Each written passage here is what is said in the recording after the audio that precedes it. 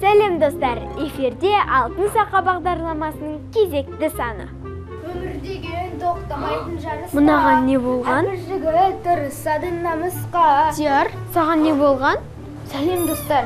Сәлем тоғжан жақындап байқау болады. Соған дайындалып жатырмын. А дияр жағдайың түсінікті болды. Сен алдымен саспа. Сосын өзіңе сенімді болсаң сені жеңіс те қолдайды. Әрине тоғжан сайыс болған соң жеңгең жақсы ғой. Кішкентай ескендірден ұят болар. Өзіңді жігерлендірген жақсы ғой. Бірақ ескендір деген кім? Ол кішкентай тіпті мектепке де бармайды. Қаламыздағы 79-шы балабақшаның тәлімгері. А диар есіме түсті. Бекзат тілдесіп қайтқан әнші бала емес пе? Достар алтын тұяқ айдарын бірге тамашалайық. Достар сендер ескендір хасанғалиев атамызды танисыңдар ғой. Бүгін мен ескендір атамыз сияқты өскенде әжі болуды армандайтын кішкентай ескендірмен таныстым. Ассалаумағалейкум ескендір қалайсың жақсымын я атамды көрдім ол өлеңді жақсы айтады мен мен ескендір атамның үш, ә, үш әнін жақсы білемін. Байқауға қатысып өлеңді жақсы айтып жеңдім. Ескендір 5 жаста. Алматы қаласына қарасты нөмері 79-шы балабақшада тәрбиеленуде. Мінезі де ерекше. Топтағы өзге балалардай емес көп сұрақ қойған маған. Тек білетініне ғана жауап беретінін айтты. Қатарының алдында жүретін ескендір ән айтқанды өте жақсы көреді.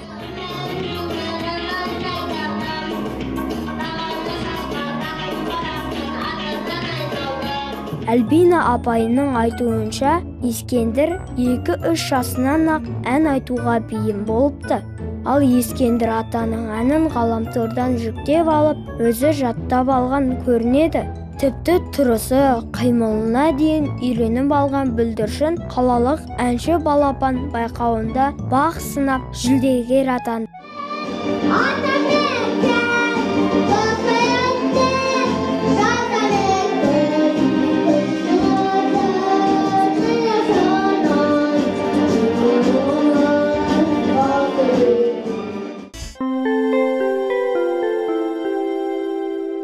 Ата өнері балаға мұра демей ме халқымыз диар кішкентай әнші баламызға ескендір атамыздың жолын берсін. Жігіт көркі өнер дейді атамыз қазақ. Мәселен әсет аға өз өнерімен елге сыйлы. Дұрыс айтасың диар. Әсет ағамен біздің ұлпан тілдесіп қайтты. Достар эфирде алтын жамбы.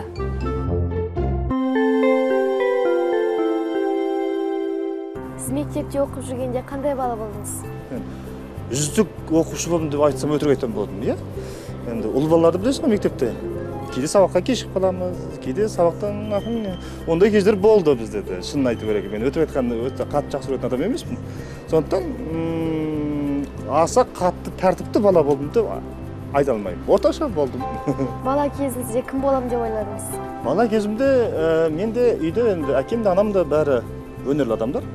Сондықтан мен осы өнерге келетінімді кішкентай күнімнен сездім бірақ қай өнердің түріне баратынымды білген жоқпын. Мүмкін дәстүрлі әнші болуым да мүмкін еді мүмкін болмаса актер болуым да болмаса журналист болуым мүмкін бе еді. Сондай осы маңайда болатынымды білдім. Ғарышкер боламын мұғалім боламын деп ойламадым тек өнерде боламын деп ойлағанмын бірақ тыбай тыбай аллаға шүкір.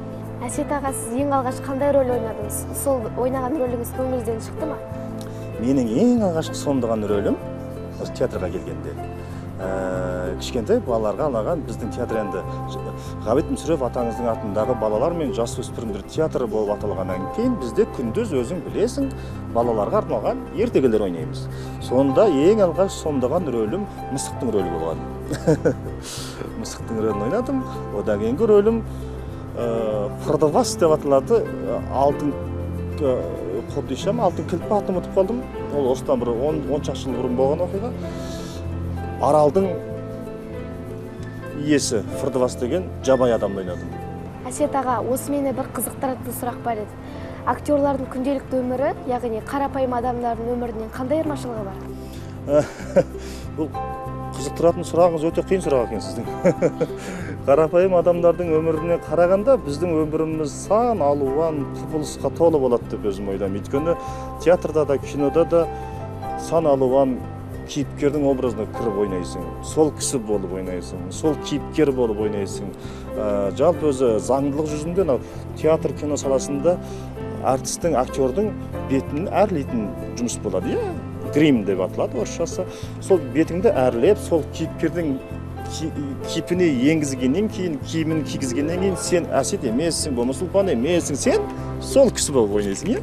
Ол кісінің рөлін бір екі сағат ойнап болғаннан кейін ол кісінің киімін сен шешесің өзіңнің киімін киесің бетіңдегі бояуды ағытасың өзіңнің бетің келеді қайтадан әсет пен ұлпан болып үйге қайтасың сондай бір айырмашылықтар болады мына үлкен адамдарға қарағанда басқа адамдарға қарағанда ә, қарапайым адамдарға қарағанда әртіс адамдардың өмірі сонысымен қызық қой деп мен ойлаймын.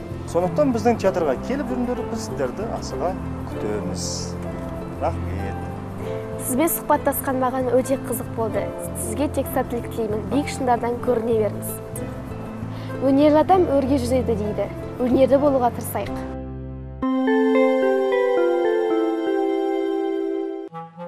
Міне дияр ерінбей еңбек етсең өз мұратыңа жетесің. Айтпақшы тоғжан өткен бағдарламада төбеттер жайында көп мәлімет жинадым.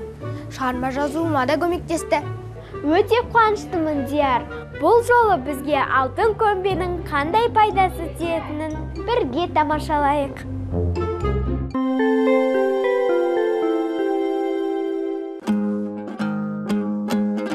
Қазақ халқының өмірінде маңызды орын алатын аспапты бәріміз білетін шығармыз. Әрине ол домбыра. Домбыра біздің көнеден келе жатқан асыл мұрамыз. Ол екі шекті көп пернелі музыкалық аспап. Домбырамен жеке ән сүйемелдеп күй тартуға болады. Ал соңғы кездері паганини моцарттың шығармалары домбырамен орындалып жүр. Достар домбыраның дауысы сапасы оның құрамына байланысты. Ол дыбыс өткізгіштігі жоғары қарағай дыбыс жаңғырту қасиеті бар тот қатты жынысты үйеңкі емет секілді киелі ағаштардан жасалады.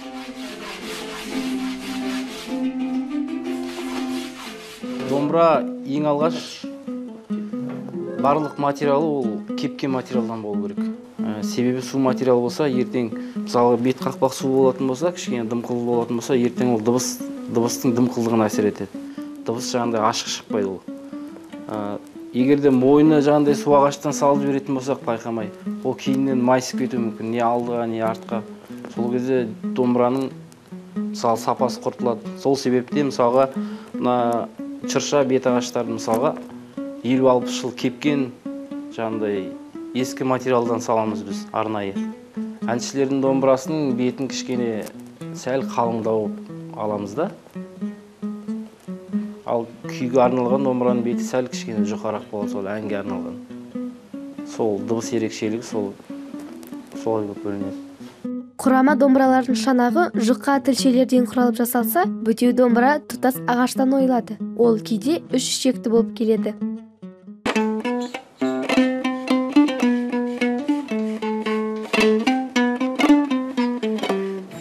Достар домбыраның құрылысымен таныс болайық.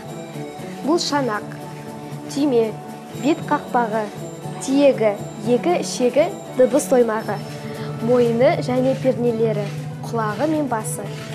Ал домбыра тартуда қағыстардың түрлері өте көп. Мысалы серме бойнау іліп қағу шертіп ойнау қазірде домбыраның жиырмадан астам түрі бар.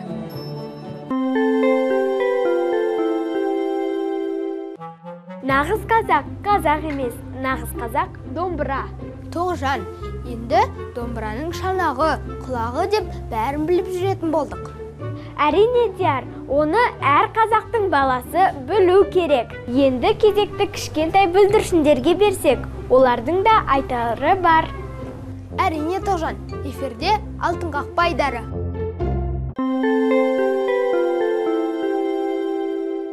аяғы төрт түтеу болады тырнағы тырнағы үшеу болады тыңдасаң ол күнде саған бірдеңке алып береді сол ақылды боласың. Тыңдасаң тыңдамасаң алып бермейді тыңдасаң алып береді. Гүл деген әдемі. Одан кейін ол жақсы нәрсе қыздарға. Содан оны қыздарға бергеннен кейін қыздар жақсы көреді. Алматы ол қала. Алматыда адамдар тұрады туылады өседі. Диар менің байқағаным кішкентай бүлдіршіндер нені көрсе соны айтады екен. Оның несіне таңданасың тоғжан? Менің де қарындасым көргенін ғана қайталайды. Сол себепті анам бізге ертегі неше түрлі жинақтар сатып алып береді. Білімді мыңды жығады. Диар біздің актерларымыз тыңбайды актерлік шеберліктерін арттыру үшін талмай еңбек етеді.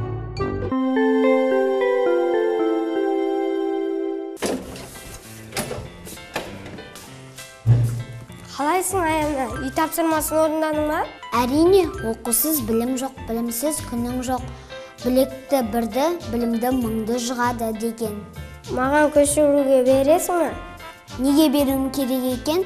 Оқу инемен құдық қазғандай. Мен құдық қазамын ал сен дайын тұрған суды ішесің бе сонда? Бермеймін. Білімдінің күні жарық білімсіздің күні қарып деген. Жарайды. Мақтаншақ мақалшы неме? Thank you.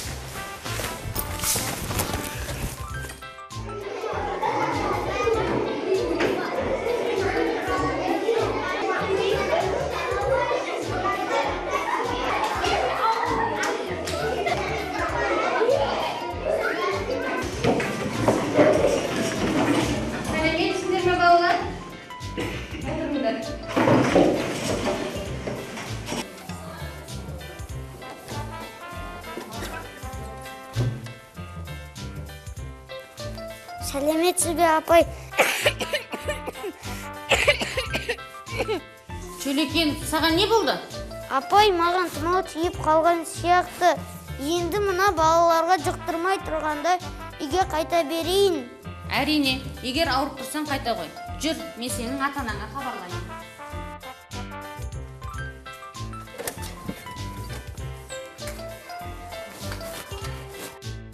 о таптым.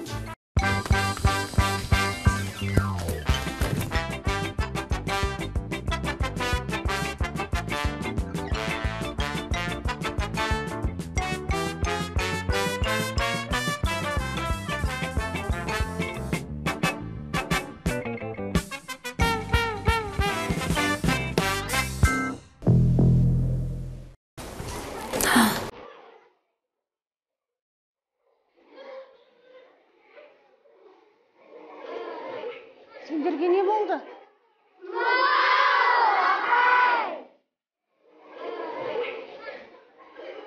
Қане ауырып отырғандарың қайтыңдар.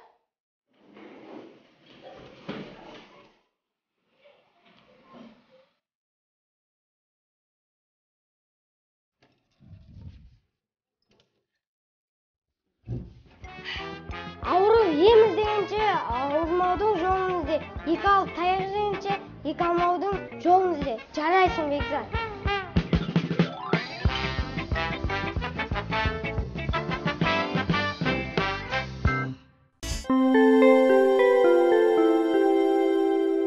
міне достар бізге берілген уақытта өз мәресіне жетті бағдарламамызға қатысып жетістігіңмен бөліскің келсе хабарлас ал әзірге келесіде кездескенше дейміз. Сау болыңдар.